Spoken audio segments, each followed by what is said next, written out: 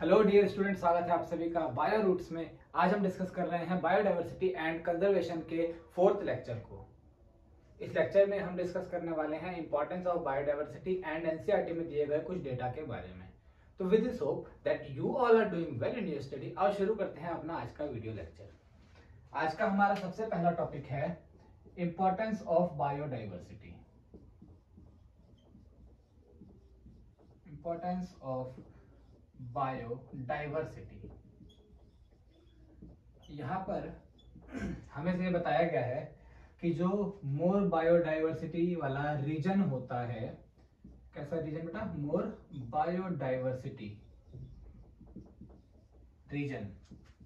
उस रीजन के अंदर एक विशेषता, एक खास बात होती है, वो मोर स्टेबल होता है। कैसा होता है? मोर स्टेबल होता है। अब कोई इकोसिस्टम स्टेबल है या नहीं है, ये कैसे पता लगता है? या फिर स्टेबिलिटी की पहचान कह ले हम कि क्या होती है? तो हम स्टेबल शब्द को समझना चाहते हैं कि आखिर स्टेबल इकोसिस्टम दिखता कैसा है? उसके अंदर क्या कैरेक्टर्स होते हैं? तो हम यहाँ पर लिख सकते हैं फीचर्स ऑफ़ स्टेबल इकोसिस्टम देखो, इसमें ले देके एक दो बातें होती हैं। ऐसा इकोसिस्टम जो ज़्यादा स्टेबल होता है, यानी कि जो आपका मोर बायोडाइवर्सिटी रिच इकोसिस्टम होता है, वो रेजिस्टेंट शो कर सकता है, यानी कि वो रेजिस्टेंट होता है। Resistant to word any disturbance ये डिस्टर्बेंस नेचुरल भी हो सकती है प्राकृतिक आपदाओं के रूप में, या फिर मैन मेड भी हो सकती है। ठीक है? कैसी हो सकती है? मैन मेड हो सकती है। फॉर एग्ज़ाम्पल नेचुरल में हम लिखते हैं फ्लड या सुनामी किसी एक इकोसिस्टम में अर्थ में, अगर इस तरह के नेचुरल डिस्टर्बेंस आ रहे हैं, फिर भी इकोसिस्टम सरवाइव कर पाता है। और इसके अलावा मैन मेड वाइल्ड फायर कई बार लगाई जाती है जानबूझ करके क्रॉप्स को ठीक से उगाने के लिए after the deforestation of the area या इसके अलावा माइनिंग लैंड माइनिंग जो होती है ना तो ये जो है ये प्रकृति को नुकसान पहुँचाने वाली इवेंट्स हैं जिन्हें हम कह रहे हैं डिस्टर्बेंसेस अगर कोई इकोसिस्टम रिच बायोडाइवर्सिटी वाला है स्टेबल होगा तो उसके अंदर क्या पाया जाएगा? इसके प्रति रेजिस्टेंट वो इसको आराम से झेल लेगा और उसको बहुत ज़्यादा प्रभाव नहीं पड़ेगा इस चीज़ से।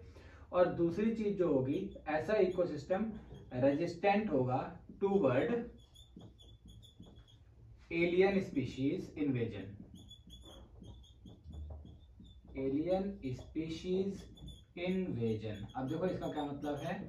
एलियन स्पीशीज किसी दूसरे ग्रह से आने वाले के लिए नहीं कहा गया है। कोई भी दूसरे इकोसिस्टम का जीव जब इस दूसरे इकोसिस्टम में एंटर कर जाए तो ये क्या हो जाता है हमारा एलियन स्पीशीज हो जाता है। ये तक समझ आया? तो अगर किसी इकोसिस्टम के अंदर, किसी बाहर के इकोसिस्टम से एक दूसरे ऑर्गेनिज्म को ले आए और उसे यहाँ पर लाके रख दे, और ये इकोसिस्टम उसे आराम से अपने साथ एब्जॉर्ब कर ले ब्लेंड कर ले तो इसका मतलब ये इकोसिस्टम रेजिस्टेंट है टुवर्ड द एलियन स्पीशीज लेकिन वहीं पर अगर आप बात करो किसी ऐसे एग्ज़ाम्पल की सच एज वाटर हियासिंथ जैसे कि टेरर ऑफ़ जिसे हम टेरर ऑफ़ बंगाल के नाम से भी जानते हैं, अगर उसे हम एक लेक के अंदर डाल दें तो लेक के अंदर की सारी एक्वेटिक लाइफ जो है वो खराब हो जाएगी। क्योंकि जो वाटर हियासिंथ है, वो बहुत ज़्यादा ऑक्सीजन यूज़ करेगा वाटर की और एक्वेटिक लाइफ को नुकसान होगा और वो मरना शुरू हो जाएँगी। तो लेक जो है, वो आपके इस एलियन स्पीशीज यानी कि वाटर हियासिंथ को एब्जॉर्ब नहीं कर पाया, अपना नहीं पाया, यानी कि लेक कहीं ना कहीं आप कह सकते हो एक कम स्टेबल इकोसिस्टम है। एज कंपेयर टू अगर हम ओशन में वाटर हियासिंथ को डाल दें, कोई खास उतना फ़र्क आपको देखने को नहीं मिलेगा। ठीक है? तो ये हो गए हमारे दो फीचर अब ये भी ध्यान रख सकते हैं, जो हमारी एग्रीकल्चरल फ़ील्ड होती है ना बेटा, है ना? एग्रीकल्चरल फ़ील्ड ये सबसे ज़्यादा अनस्टेबल होती हैं। मोस्ट अनस्टेबल कैसी होती हैं? मोस्ट अनस्टेबल होती हैं क्योंकि इसके अंदर बायोडाइवर्सिटी बहुत कम होती है, या फिर कह सकते हो ना के बराबर होती है। और जब बायोडाइवर्सिटी ना के बराबर होगी तो जैसा कि हम कह पा रहे हैं स्टेबिलिटी नहीं होगी। और स्टेबिलिटी नहीं होगी तो ये दो फीचर्स के अंदर नहीं पाए जाएँगे। ठीक है? तो अपना नेक्स्ट टॉपिक शुरू करते हैं आज का, जो कि है कॉन्सेप्ट ऑफ़ स्टेबिलिटी एनसीआरटी ने स्टेबिलिटी को किन एग्जांपल्स के थ्रू किन साइंटिस्ट के कंट्रीब्यूशन के थ्रू समझाया है? आओ तो हमारा टॉपिक है इस समय कॉन्सेप्ट ऑफ़ स्टेबिलिटी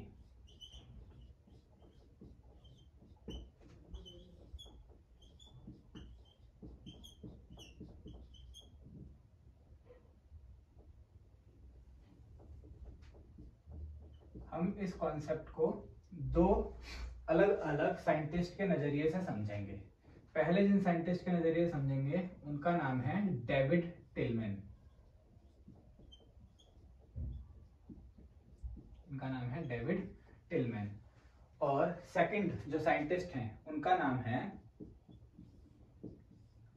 पाउल एरलिच दो एनसीआरटी के साइंटिस्ट हैं, इनकी बात करेंगे। सबसे पहले बात करते हैं डेविड टिलमैन की। डेविड टिलमैन ने एक्सपेरिमेंटल फीचर्स को डिफाइन किया है।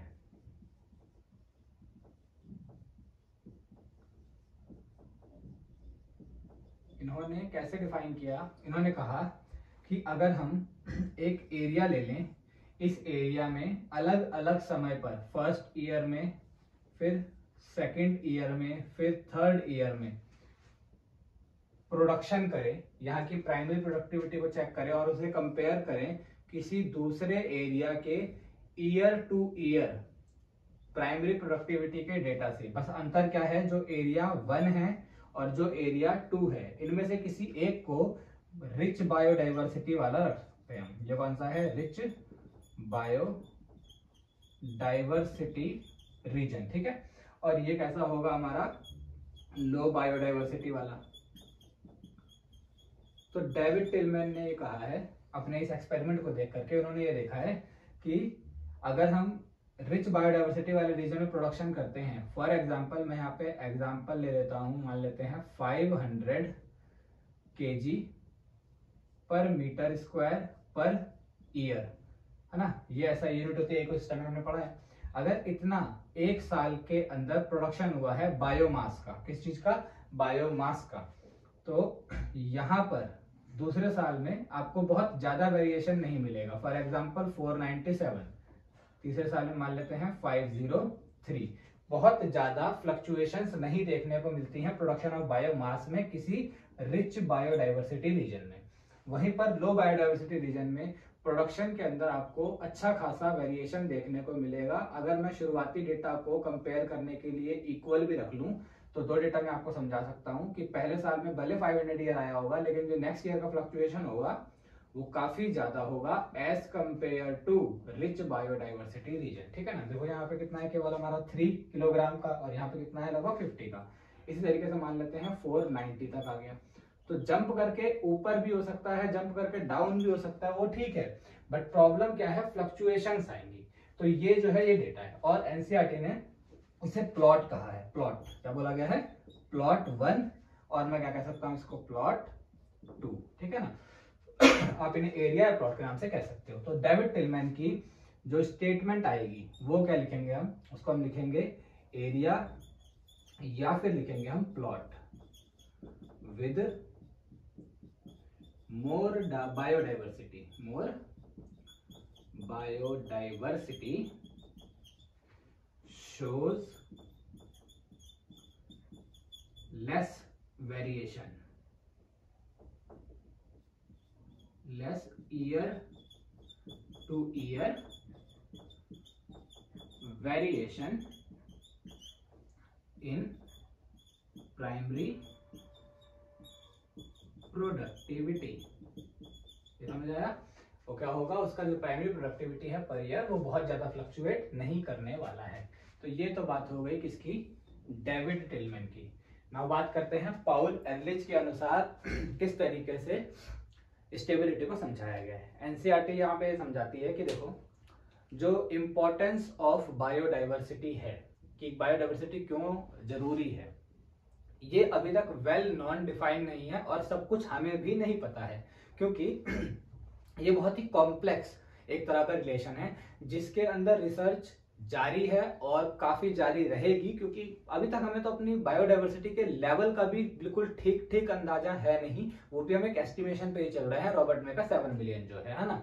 तो अभी भी हम एस्टिमेशन पे हैं रिसर्चर के द्वारा सब कुछ ढूंढा नहीं जा चुका है। तो अगर यहाँ पे ऑलरेडी बहुत कुछ जानने को पहले से ही है तो हम ये तो नहीं कह सकते कि हमें सब कुछ पहले से पता है कि बायोडाइवर्सिटी कैसे कंट्रीब्यूट करती है एक इकोसिस्टम को बेहतर बनाने में, है ना? ये बात बिल्कुल क्लियर होनी चाहिए। इसीलिए बायोडाइवर्सिटी को पाउल एनरिच किसी एक्सपेरिमेंट या किसी थ्योरी के साथ ना समझाते हुए एक हाइपोथेसिस से समझाते हैं। उन्होंने एक कहानी के ज़रिए इस बात को समझाया है, जिस कहानी का नाम क्या है? रिवेट पॉपर हाइपोथेसिस तो यहाँ पर एक बहुत ही फ़ेमस हाइपोथेसिस हमको पढ़ना है, जिसका नाम है रिवेट पॉपर हाइपोथेसिस अब जैसा कि हमें पता है हाइपोथेसिस का मतलब क्या? मन गणत कहानी। ज़रूरी नहीं है, सच हो। बस वो एक कल्पना है। रिवेट का मतलब होता है बोल्ट मशीन में लगे होते हैं ना इलेक्ट्रॉनिक पार्ट्स में, गाड़ियों में, हर जगह लगे होते हैं। किसी भी दो अलग अलग कंपोनेंट को आपस में जोड़ने के लिए हमें क्या चाहिए? बोल्ट चाहिए। तो रिवेट का मतलब होता है बोल्ट पॉपर का मतलब है चोरी करना। पॉपर का मीन्स क्या है? चोरी करना। और हाइपोथेसिस हमें पता है, किसी बात हो रही है एक कल्पना की। तो इन्होंने पॉल एलिस ने अपने इकोसिस्टम को, जो हमारा इकोसिस्टम है, उसको माना है एयरप्लेन जब हम इनकी स्टेटमेंट पढ़ेंगे कि ये कह रहे हैं कि किसको फ़ायदा होगा, जब ये जहाँ जहाँ एयरप्लेन बोलेंगे, वहाँ वहाँ का मतलब क्या है? इकोसिस्टम ऐसे ही इकोसिस्टम के रिवेट इकोसिस्टम के बोल्ट जो इकोसिस्टम को आपस में फंक्शनल बनाए रखते हैं, जोड़े रखते हैं, वो होती हैं स्पीशीज वो क्या होती हैं? स्पीशीज। रिवेट कौन है हमारी? स्पीशीज। ये मैंने इधर लिख दिया। स्पीशीज इधर लिखना है। इनके अनुसार रिवेट जो है, वो इकोसिस्टम की स्पीशीज होंगी। इसके अलावा, जब जब ये कहते हैं अपनी कहानी में पॉपिंग शब्द को, पॉपिंग, चोरी तो यहाँ का मतलब है extinction of species.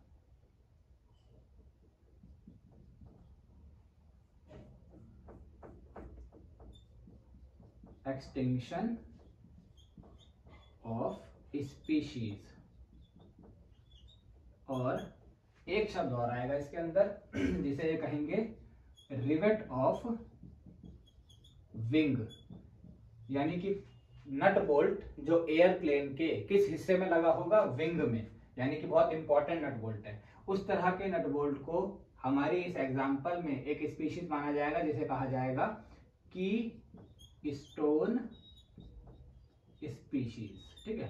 ये चार हमको याद रखने हैं और अब अपनी इनकी स्टेटमेंट पे आते हैं, देखो। पहली स्टेटमेंट क्या है?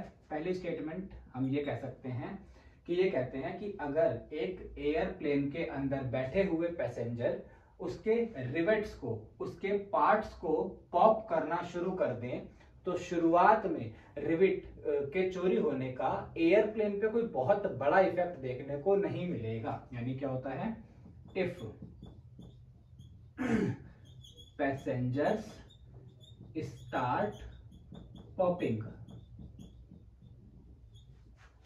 Popping some rivet with them अपने साथ चोरी करके ले जाएँ। तो क्या होगा? Initially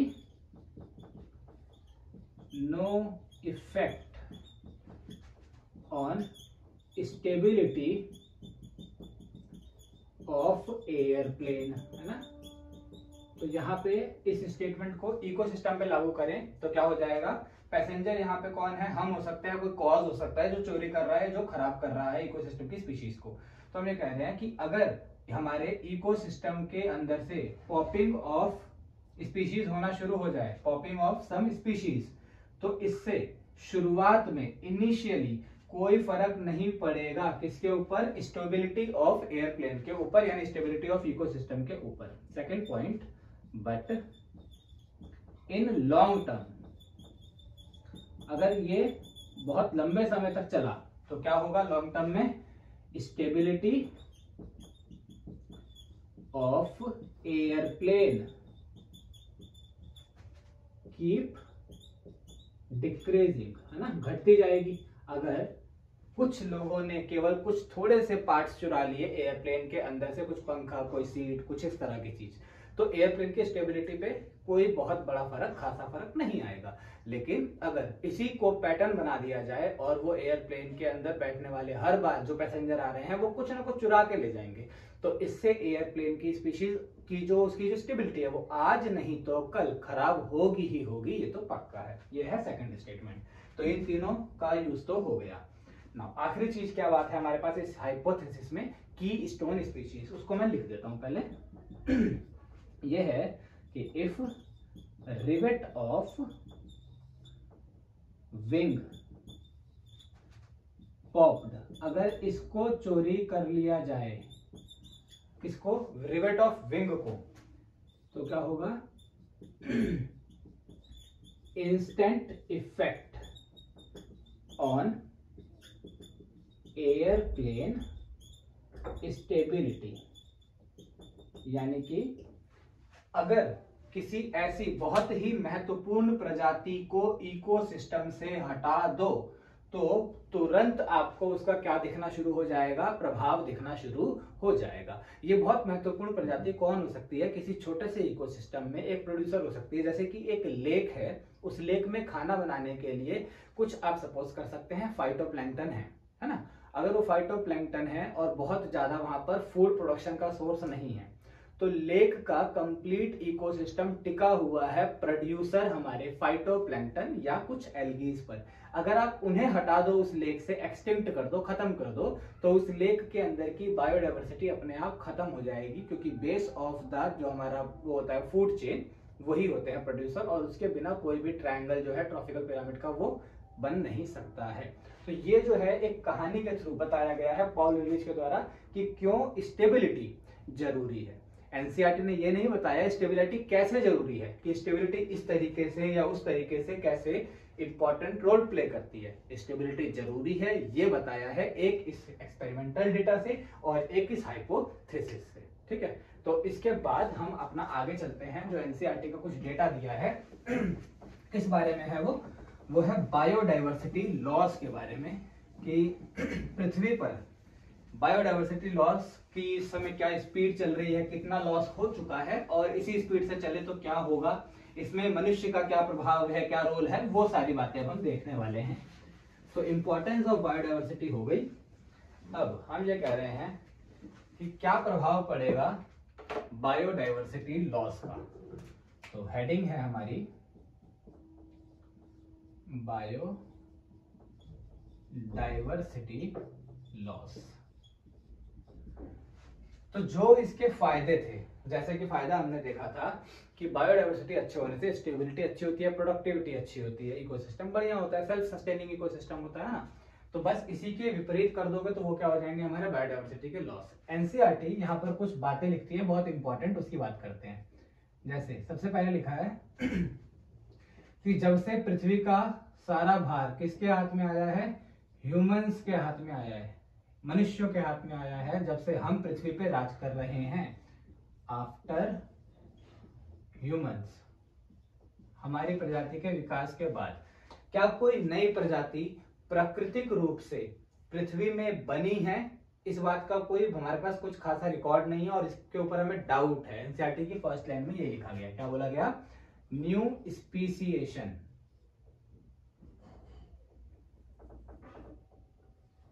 न्यू स्पीसीएशन जो कि नेचुरल हो आफ्टर ह्यूमन इस पे हमको है डाउट है ना? ये एनसीआरटी कहती है, लगता तो नहीं है कि ऐसा हुआ है, लेकिन क्या एक्सटिंक्शन हुआ है? आफ्टर ह्यूमन अगर हमसे कहें एक्सटिंक्शन प्रजातियों का एक्सटिंक्शन हुआ है क्या? तो एनसीआरटी कहती है, कोई डाउट नहीं है नो डाउट इसका आंसर बिल्कुल हाँ है यस इसका आंसर है यस ठीक है? इस पे डाउट है कि भैया हमारे आने से कोई नई स्पीशीज प्राकृतिक रूप से आई है। नेचुरली बात ध्यान रखना, क्योंकि आर्टिफिशियली हाइब्रिडाइजेशन जेनेटिक हाइब्रिडाइजेशन से हम बहुत कुछ करते हैं, नई स्पीशीज बनाई जा सकती हैं। बट प्राकृतिक रूप से in the course of evolution क्या ये हुआ है? कह नहीं सकते, अच्छे से। अब इसको सपोर्ट करने के लिए कुछ डेटा है एनसीईआरटी में दिया हुआ, उसकी बात करते हैं। डेटा ऑफ़ बुक जो हमारे पास में है। सबसे पहले एनसीईआरटी क्या कहती है कि after the invasion of humans on Pacific island देखो, पृथ्वी के ग्लोब को अगर जैसे हमने हमें पता हमने लास्ट क्लास में बनाया था, इस साइड हमने इंडिया को ड्रॉ किया था।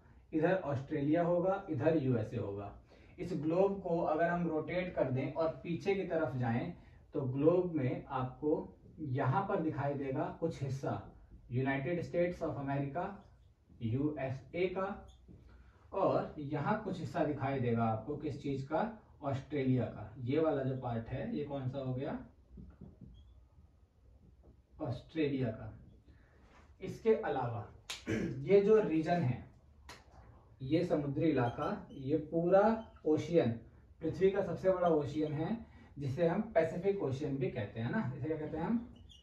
पैसिफिक ओशियन जो कि पृथ्वी का सबसे लार्जेस्ट ओशियन भी है। इस पैसिफिक ओशियन में कुछ क्या पाए जाते हैं? आइलैंड्स हो सकते हैं ऐसे। कहीं कहीं पर। बहुत सारे हैं, एक दो नहीं है, ऐसे। अब ये पैसिफिक ओशियन मनुष्य ह्यूमन की रीच के बहुत बाहर है। उस समय के हिसाब से, पुराने के लिए बहुत बाहर थे। है नहीं? बहुत बाहर थे।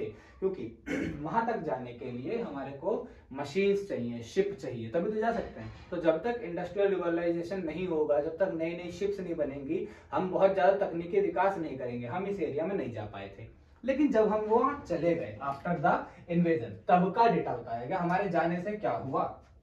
More than 2000 species of bird are lost कितनी बताई गई? मोर देन 2000 बर्ड स्पीशीज ये क्या कर गई? एक्सटिंक्ट हो चुकी हैं अभी तक। एक डेटा, सबसे पहला जो एनसीआरटी का है, वो ये और ये काफ़ी कंसर्निंग बात है।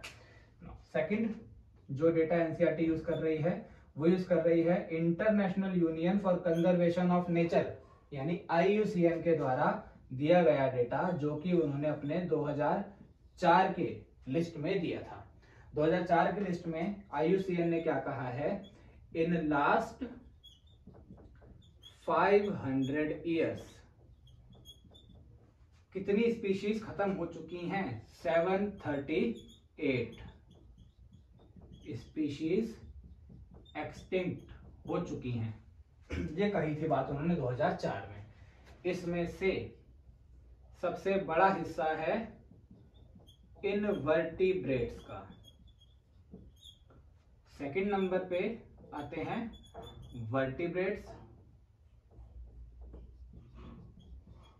और थर्ड नंबर पे नुकसान हुआ है प्लांट्स को। कितना कितना डेटा है? तो ये डेटा रफली है सेवन फिफ्टी, एट के आसपास। ये डेटा है आपका 738 के आसपास और ये 59 होगा आई थिंक और ये डेटा है आपका 87 यानी कि पिछले 500 सालों में 2004 के वक्त में 2004 से पिछले पाँच छह सालों में इतनी species of different different group क्या हो चुकी हैं? एक्सटिंक्ट हो चुकी हैं। और ये डेटा एनसीआरटी में दिया है, लेकिन ये डेटा पब्लिश इसने किया था international union for conservation of nature ने। इसके अलावा आईयूसीएन के 2004 के स्टेटमेंट में एक और बात कही गई है। वो बात क्या है? सेकंड स्टेटमेंट है इन्हीं की। वो ये है कि मोर देन पंद्रह हज़ार पाँच सौ species are in danger of extinction ये प्रजातियाँ खतरा फेस कर रही हैं। क्या हो जाने का खतरा है? एक्सटिंक्ट हो जाने का खतरा है। इन 15,500 में से सबसे ज़्यादा रिस्क किसको है? जिसको सबसे ज़्यादा रिस्क है उसकी परसेंटेज है 32 परसेंट और वो ग्रुप कौन सा है? वो ग्रुप है एम्फीबियंस का। एम्फीबियंस सबसे ज़्यादा खतरे में है। फिर 31 परसेंट यहाँ पर आपको दिया गया है जिम्नोस्पर्म का डेटा कि जिम्नोस्पर्म 31 परसेंट है। फिर इसके अलावा 23 परसेंट बताया गया है मैमल्स को, जैसे कि हाथी वगैरह, और 12 परसेंट के आसपास आपका डेटा है बर्ड का। जो रेस्ट है वो अदर है। जो रेस्ट आई थिंक दो परसेंट के आसपास होगा, वो अदर्स है। ये भी डेटा किसका है? आईयूसीएन का डेटा है। नाउ एनसीईआरटी अपने बुक में तीसरी बात लिखती है कि more than 27 species extinct in last 20 year. पिछले 20 सालों के अंदर कितनी स्पीशीज खत्म हो चुकी हैं? लगभग 27 और ये पिछले 20 साल कब से जोड़े जा रहे हैं?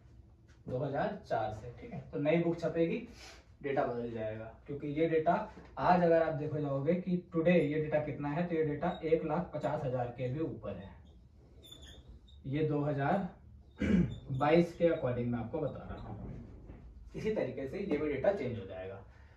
इसके अलावा कुछ एनसीईआरटी ने दिए हैं example examples of some extinct species कोशिश करूँगा कि मैं फ़ोटोज़ भी साथ साथ लगा दूँ ताकि आप इनको देख पाओ। एक बहुत फ़ेमस एग्जांपल डोडो बर्ड जो फ्लाई नहीं कर सकती थी मॉरिशियस वाली। ये एक्सटिंक्ट हो चुकी है। बहुत फ़ेमस है। अधिकतर बच्चों को पता ही होगा। फिर है एक क्वागा क्वागा जिब्रा की तरह दिखने वाला एक ऑर्गेनिज्म है, जिसकी फ़ोटो यहाँ पर लगा दूँगा मैं। आप इसको देख सकते हो। फिर इसके अलावा आपको दिया गया है इसके अंदर स्टेलर सी काओ ये कोई गाय नहीं है। पानी के अंदर सील की तरह दिखाई देने वाला एक ऑर्गेनिज्म है। अगेन फ़ोटो लग जाएगी। स्टेलर सी काओ के बाद में आपको यहाँ पे मिलेंगे कुछ स्पीशीज किसकी? जावन बाली एंड कैस्पियन ये कौन है? ये है सब स्पीशीज ऑफ़ टाइगर सब स्पीशीज ऑफ़ टाइगर ये भी क्या है? एक्सटिंक्ट हो चुकी हैं. थाइलासीन यस एक और. अब मैं लिख रहा हूँ. थाइलासीन भी एक और है, जो आज मॉडर्न आप देखो तो डॉग की तरह दिखेगा. थोड़ा बहुत फॉक्स की तरह भी दिखता है. वो भी क्या हो गया है? एक्सटिंक्ट हो चुका है. तो ये इतना सारा जो डेटा दिया है एनसीआरटी ने, वो हमें कन्वेंस करने के लिए और हमारे को एक प्रमाणिकता दिखाने के लिए अपने डेटा में दिया है कि देखो एक्चुअली में जो बायोडाइवर्सिटी लॉज है, वो एक बड़ा इशू है हमारे सामने आज के समय पे, ठीक है? तो ये आप नोट कर लेना। और लास्ट जो हमें इस बारे में आज के लेक्चर में डिस्कस करना है, वो ये कि इस बड़े से लॉस के पीछे आखिर हाथ किसका है? इसमें हमारा क्या लेना देना है? और आखिर ये खतरा कितना बड़ा है? इस बारे में हम बात करते हैं। देखो, सबसे पहले मैं इसको रफ कर देता हूँ। हम यहाँ पे एक हेडिंग लिख लेते हैं। Is human causing this loss of biodiversity? है ना? ये बात कर रहे हैं हम। सबसे पहले हमें कुछ डेटा समझना है कि जो लाइफ ओरिजिनेट हुई थी अर्थ पर, लगभग 3.8 बिलियन ईयर्स अगो हुई थी, है ना? पूरी पृथ्वी का निर्माण कब हुआ था? 4.5 बिलियन ईयर्स पहले। उसके 700 मिलियन साल बाद, यानी 3.8 मिलियन ईयर बाद 3.8 बिलियन ईयर पहले लाइफ बनी थी और अगर यहाँ से हम आ जाएँ टुडे आज तक में, जीवन आज तक पृथ्वी पे कायम है। हालाँकि एनसीआरटी कहती है कि इस बीच में पाँच मेजर मास एक्सटिंक्शन हुए हैं। क्या हुए हैं? पाँच मेजर मास एक्सटिंक्शन हुए हैं। अगर आपसे कोई बोले कि मास एक्सटिंक्शन क्या होता है तो मैं उसको डिफाइन कर देता हूँ। मास एक्सटिंक्शन का मतलब होता है loss of loss of more than 80 to 90 percent of life in short duration थोड़े ही समय के अंदर पृथ्वी का लगभग लगभग सारा जीवन, अस्सी नब्बे प्रतिशत का जीवन खत्म हो जाए तो ये क्या कहलाता है? मास एक्सटिंक्शन कहलाता है। ये शॉर्ट ड्यूरेशन कितना होता है? ये इतना भी शॉर्ट नहीं है ह्यूमन स्केल के लिए। ये शॉर्ट ड्यूरेशन है हंड्रेड ईयर से वन थाउज़ेंड ईयर तक। यानी अगर सौ साल या एक हज़ार साल में पृथ्वी का जीवन खत्म हो जाता है तो हम इसे कहते हैं मास एक्सटिंक्शन बहुत बड़ा एक्सटिंक्शन बहुत बड़ा खतरा। क्योंकि आपको लगेगा, ये तो बहुत ज़्यादा लॉन्ग टाइम है शॉर्ट ड्यूरेशन क्यों कह रहे हैं? वो इसीलिए क्योंकि क्रिएशन मिलियन या इवन बिलियन ऑफ़ ईयर्स का एक प्रोसेस हो सकता है। लेकिन जो डिस्ट्रक्शन है, वो मिलियन और बिलियन के सामने एक आप कह लो डेसिमल के बराबर भी नहीं है। अगर ये हंड्रेड और थाउज़ेंड ईयर का एग्ज़ाम्पल ले लें तो भी। थाउज़ेंड नहीं, बल्कि इसे एक लाख साल तक का दिया गया है। एक हज़ार से एक लाख साल का समय। अब तो और आपको डेटा बड़ा लगेगा कि हाँ एक्चुअली ये है डेटा एक हज़ार से एक लाख साल का डेटा जो अगेन देखने में बहुत बड़ा है। But on the scale of geological era ये कुछ भी वैल्यू नहीं रखता है। ये बात हो गई। ना अगर हम बात करें आज की तो आज क्या दिख रहा है?